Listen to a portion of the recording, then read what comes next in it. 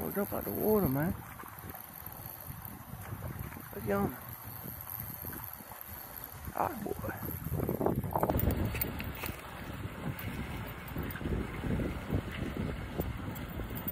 Pretty sight.